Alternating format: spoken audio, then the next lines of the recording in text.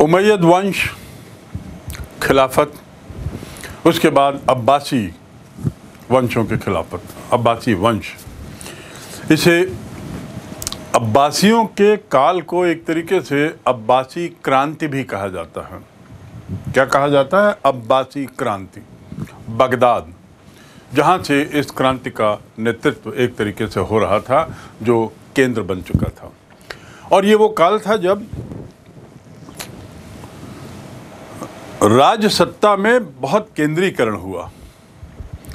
और किसी भी तरह के विद्रोहों को एक तरीके से धर्म विद्रोह का रूप देकर उसे कुचलने का प्रयास किया गया।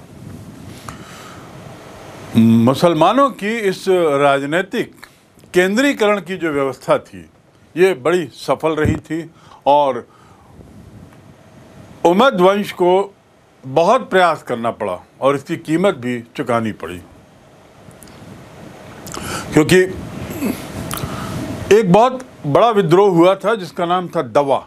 इस दवा नाम के सुनियोजित विद्रोह ने उमैयद वंश की सत्ता को काफ़ी कुछ हिला दिया था उसकी नींव को काफ़ी धक्का पहुँचा था। मक्का के बाद ही आ, वासी अब्बासी वंश ने उमैयद वंश का स्थान लिया। ये जो परिवर्तन हुआ ये जो क्रांति हुई उमैयद वंश से अबासी वंश। आखिर इसका कारण क्या था कि सारी सत्ता एक में केंद्रित कर चुके थे और सत्ता के केंद्रीकरण के बहुत से दुष्परिणाम होते हैं। और जैसा मैंने पहले बताया, इसी दुष्परिणामों की प्रक्रिया में बहुत से उद्रोह भी हुए। बहुत से लोगों का विरोध हुआ। और बढ़ती हुई भाई भतीजावाद की नीति और या उसकी अनुभूति, बढ़ता हुआ भ्रष्टाचार जो ऊपर से नीचे तक पनप रहा था, फैल रहा था, उसका विरोध। ये कारण बनते हैं एक तरीके से वंश बदलाव के। एक कारण बनते हैं एक तरीके से क्रांति के, जिसे हम अब्बासी क्रांति जानते हैं। इस केंद्रीकरण से उमैयद वंश को बाद में बहुत तकलीफ़ हुई और उसकी, उसको कीमत भी चुकानी पड़ी। कीमत किस रूप में? कि उमैयद वंश की सत्ता समाप्त और अब नया वंश सामने आया और यह कब हुआ? जब दवा नाम का एक बहुत सुनियोजित विद्रोह हुआ जिसने उमैयद वंश को झकझोर दिया। मक्का का ही जो वंश है, अब्बासी वंश, उसने अब उमैयद वंश का स्थान ले लिया। तो अब हम समझ सकते हैं कि धीरे धीरे कैसे खलीफाओं की व्यवस्था में परिवर्तन हुआ। एक तरीके से उनके जो कार्य करने की शैली भी धीरे धीरे कैसे बदल रही थी, उनकी प्राथमिकताएँ भी कैसे बदल रही थी, और अंततः कैसे ये सत्ता के केंद्रीकरण के रूप में बदली। फिर उसके बाद सत्ता के केंद्रीकरण का विद्रोह विद्रोह का खामियाजा, सत्ता में रहते हुए लाई गई बुराइयों का खामियाजा। अच्छा इसके साथ ये भी एक बिंदु है कि जो कुछ ईसाई परंपराएँ बाइजेंटाइन एम्पायर की बाइजेंटाइन साम्राज्य की, कुछ ईसाई व्यक्तियों का विभिन्न पदों पर उनको लाना, ये भी कई लोगों को पसंद नहीं था। ये भी कई लोगों को नागवार गुजर रहा था। तो ऐसे अनेक कारण हो चुके थे जो असंतोष, घोर असंतोष पैदा कर बैठे थे और फिर वही क्रांति के रूप में बदला जब दवा नाम का सुनियोजित विद्रोह हुआ और अब्बासी वंश सत्ता में आया। अब्बासियों ने सत्ता अपनाई और तुरंत उनके लिए आवश्यक हो गया कि उमैयद वंश के प्रभाव को समाप्त करने के लिए। पहली बात तो उमैयद वंश के प्रभाव को जल्दी से जल्दी समाप्त किया जाए, ये उनकी व्यवस्था थी। ताकि जनता जनार्दन अब्बासी वंश की नई सत्ता को स्वीकार करे, उनकी स्वीकृति हो। उमैयद वंश के द्वारा किए गए कार्यों को मात्र नकारना ही नहीं, बल्कि उनको गलत साबित करना अब्बासी वंश के लोगों के लिए आवश्यक हो गया। और इसलिए जिस सत्ता में आते इन्होंने क्या शुरू किया? उमैयद वंश के कार्यों को, उनकी गतिविधियों को गलत बताने का कार्य शुरू किया। और देखिए, गलत बताने की प्रक्रिया में बात यहाँ तक गई कि उन्होंने उमैयद वंश के लोगों को शैतान बताने की कोशिश की, उन्हें शैतान कहलाया, कहाया। अब बासियों ने कहा कि वे जो मूल इस्लाम, जो पैगंबर के द्वारा स्थापित किया गया था, उसको वो वापस लाएँगे। दूसरे शब्दों में इनका कहना था कि उमैयद वंश के खलीफा लोग पैगंबर के विचारों से, पैगंबर के उपदेशों से, नीतियों से कोसों दूर जा चुके हैं। एक ज़िक्र मैंने और बताया था कि इन लोगों ने इस्लाम वंश के सिद्धांत के खिलाफ लूट पर भी काफ़ी ज़ोर दिया। और लूट के धन से भी इन्होंने काफ़ी अपनी सत्ता को मज़बूत करने की कोशिश की, जिसे गनीमा कहा गया। तो इस प्रकार अब्बासी वंश ने अपनी विश्वसनीयता बढ़ाने के लिए सबसे पहला कदम ये उठाया कि अपने पूर्वज यानी उमैयद वंश की, के शासनकाल को गलत बताना। और उस प्रयास में, गलत बताने के प्रयास में उन्होंने बहुत से तरीके अपनाए, जिसमें उन्होंने उन्हें शैतान तक कहा और साथ ही ये भी कहा। दूसरी बात कि हम पैगंबर मोहम्मद के द्वारा जो नीतियाँ, जो सिद्धांत इस्लाम धर्म के लिए बताए गए थे, उनको पुनर्स्थापित करेंगे। थोड़ा सा नक्शों को देखें और इस पर एक नज़र डालें, क्योंकि इस पे हम कुछ ऐसे क्षेत्रों की बात कर रहे हैं जो आपको बारंबार इन क्षेत्रों का ज़िक्र आएगा, आ चुका है और आने वाले अध्याय में भी ये है। और कई बार ये एक तरीके से कंफ्यूजन कर देता है, हमारे सामने एक समस्या खड़ी कर देता है कि हम किस क्षेत्र की बात कर रहे हैं। साथ ही आगे की पढ़ाई के लिए बड़ा ज़रूरी है तो चलिए त्वरित गति से हम थोड़ा देखें कुछ क्षेत्रों को बस। सबसे पहले ये देखिए कि पश्चिम एशिया और मध्य एशिया में कौन कौन से देश हैं? पश्चिम एशिया और मध्य एशिया में कौन कौन से देश हैं? पश्चिम एशिया के देशों को देखिए। उसके बाद मध्य एशिया को देखिए। एशिया को भी कई भागों में बांटा है। एक मध्य एशिया। अब यहाँ देखिए मिडिल ईस्ट। मिडिल ईस्ट कौन सा क्षेत्र कहलाता है? उसमें कौन कौन से देश आते हैं? इस पर एक सरसरी नज़र आपने तीनों क्षेत्रों पर देखी। इसको देखते हुए आपने देखा तुर्की, Iran, Afghanistan, Turkmenistan, Uzbekistan, Kazakhstan, Kyrgyzstan और ताजिकिस्तान। ठीक? दूसरी बात। खुरासान एक क्षेत्र का नाम बारंबार आया है। और खुरासान को लेकर कई बार मन में संशय होता है कि आखिर ये क्षेत्र कहाँ तक स्थित है, कहाँ पर स्थित है। देखिए ईरान को नक्शे में।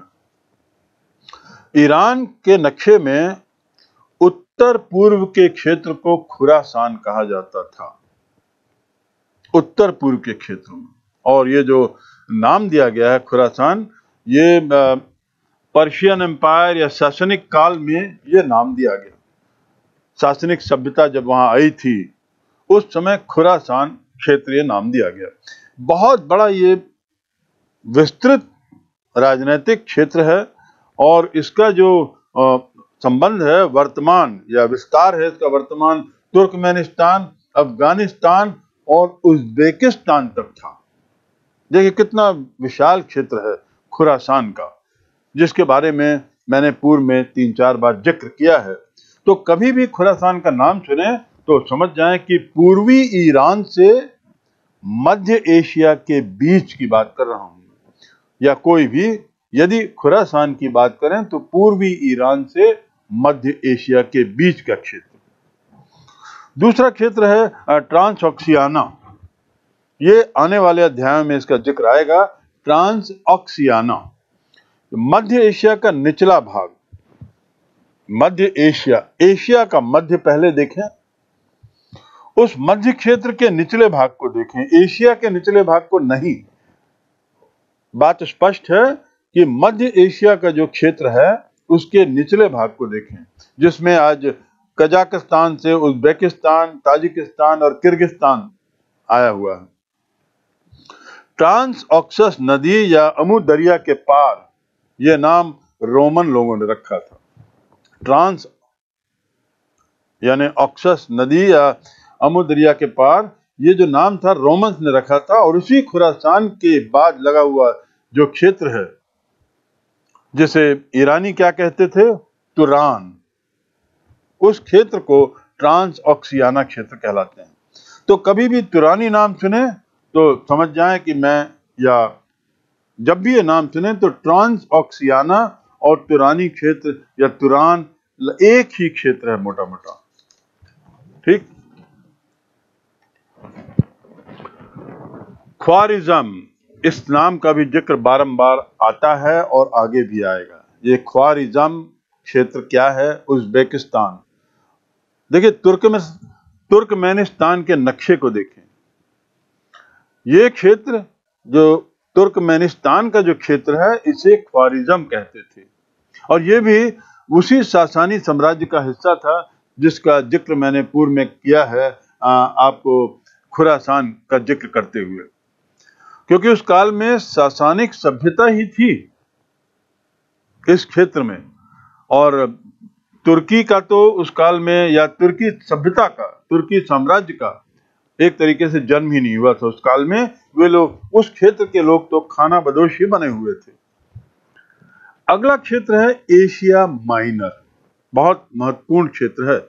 यह आपने नक्शे में बार बार देखा है। और एशिया माइनर और एशिया में अंतर है। यह क्षेत्र जो है थोड़ा हम लोग को कई बार कंफ्यूज कर देता है। आ, इसको देखिए एशिया माइनर को एंटोलिया या एनाटोलिया। दोनों नामों से बोलते हैं। ये तुर्की का पश्चिमी हिस्सा और काफ़ी हद तक पूर्वी हिस्सा भी इसमें आता है एशिया माइनर में। ठीक टर्की का पश्चिमी हिस्सा और उसका पूर्वी हिस्सा भी इसमें आ, काफ़ी कुछ आ जाता है। ये कहलाता है एशिया माइनर। ये क्षेत्र बहुत महत्वपूर्ण क्योंकि यूरोप से लगे होने के चलते यहाँ रोमन फिर बाइजेंटाइन और फिर उसके बाद ममलुक, सेलजुक, ये तुर्क साम्राज्य के जो हिस्सा थे, जो वंश वंश चला, ममलुक वंश, सेलजुक वंश, और फिर आखिर में ऑटोमन एम्पायर का हिस्सा बने, ऑटोमन एम्पायर। केंद्र कौन सा था? इस जो ऑटोमन एम्पायर की बात करें, या एक तरीके से हम एशिया माइनर की बात करें, जो समय के साथ साथ बदलता रहा, जिसका जिस पर आधिपत्य विभिन्न सम्राटों का हुआ। लेकिन एक बात तय है कि यह अत्यंत महत्वपूर्ण क्षेत्र रहा है। इसीलिए रोमन लोगों ने भी इस पर कब्जा किया, बाइजेंटाइन ने भी कब्जा किया, फिर सेल्जुक मामलुक लोगों ने भी किया और तुर्की एम्पायर और अंत में ऑटोमन एम्पायर का हिस्सा बना। तो देखिए, नक्शे में कुस्तुनतिनिया जिस क्षेत्र को कहते हैं, जिस जगह को, जिस शहर को, या कॉन्स्टेंटिनोपल अंग्रेज़ी में, वही उस समय इस्तांबुल कहा जाता था। पुनः मैं बता दूँ कुस्तुनतिनिया या कॉन्स्टेंटिनोपल या इस्तांबुल, ये एक ही क्षेत्र है। और तुर्की की राजधानी क्या है? अंकारा। टर्की की राजधानी अंकारा। तो इस प्रकार हम देख रहे हैं इस्तांबुल की स्थिति और उसके जो बदलते हुए नाम।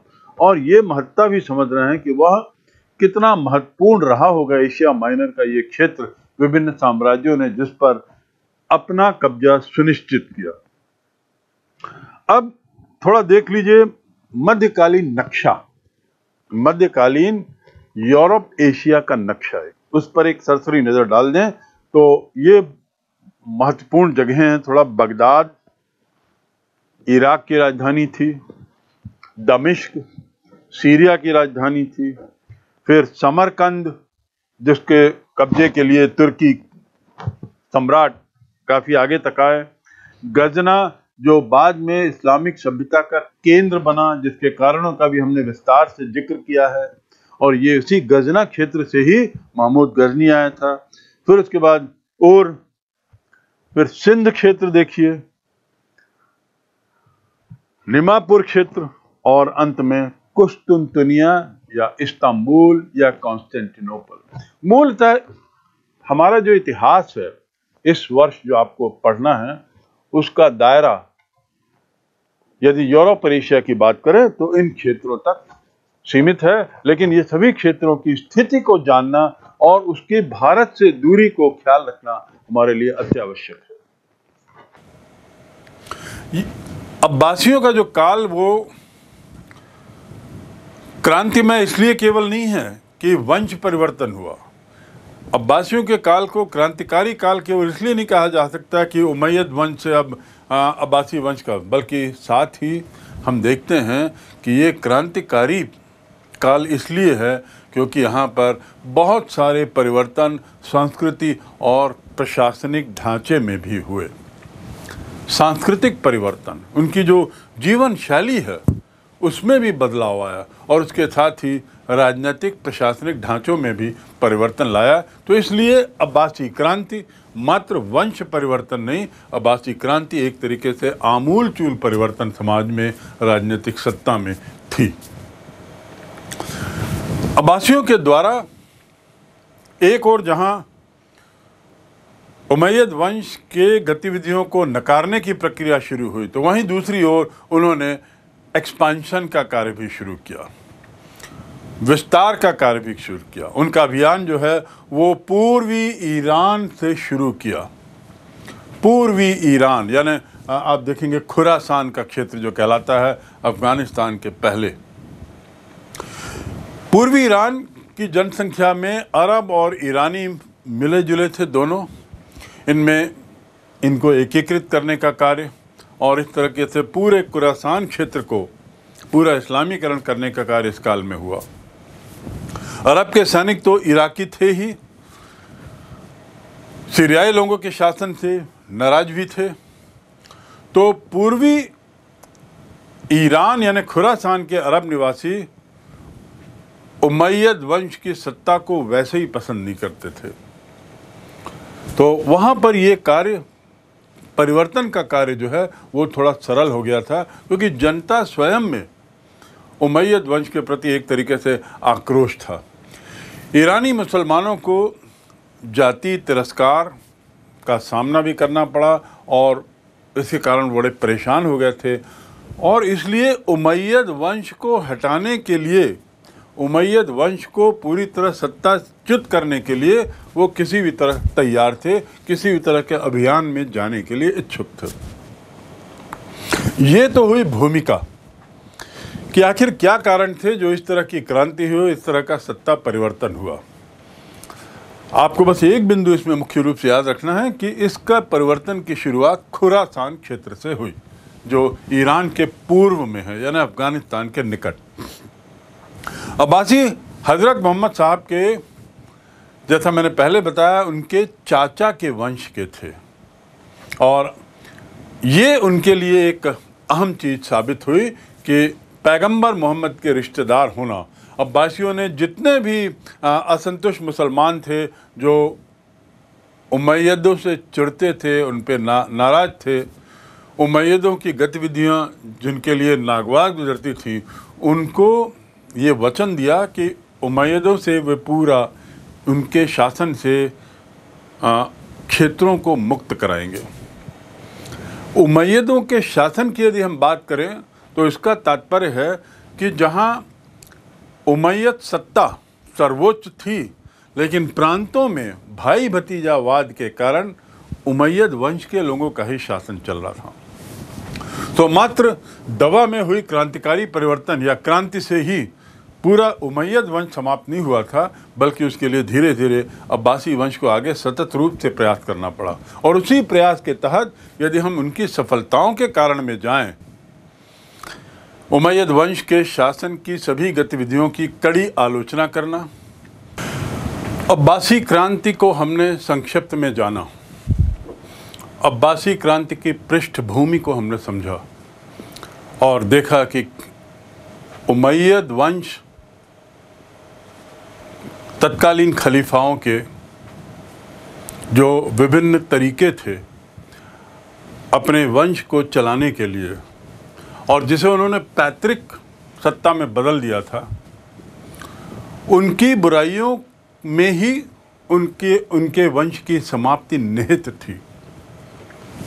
यानी उमैयद वंश ने अपनी सत्ता को बरकरार रखने के लिए जो हथकंडे अपनाए, जो तरीके अपनाए अलग अलग निश्चित रूप से उसमें नब्बे वर्षों तक उन्होंने शासन किया और नब्बे वर्षों तक सफल रहे। पर उनके द्वारा इन तरीकों के अंदर ही उनके अंत के कारण भी निहित थे। तो जो अगला वंश था, जो आया अब्बासी वंश, ये अब्बासी वंश भी इसीलिए सत्ता में आ पाया क्योंकि वह भी उमैयद वंश के विचारों का, उनके परंपराओं का, उनके प्रथाओं का उतना ही घोर विरोधी था जितने अन्य कबीले के लोग। लेकिन चूँकि ये पैगंबर मोहम्मद के रिश्ते में आते थे और इसमें कुछ योग्य और कुशल लोग थे, ये लोग खिलाफत अपने कब्जे में लेने में सफल हुए। कारण अब हम समझ गए हैं कि अब्बासी की अब्बासी क्रांति क्यों हुई, उसके कारण। कारण जानने के बाद हमने बहुत संक्षिप्त में घटनाक्रम भी देखा कि किस प्रकार वे पूर्वी ईरान की ओर, खुरासान की ओर बढ़े और फिर उन्होंने वहाँ से अपनी शुरुआत की। उसके बाद हमने ये भी जाना कि किस तरह उन्होंने अपनी ताकत मज़बूत करने के लिए, ये सुनिश्चित करने के लिए कि उनका वंश जारी रहे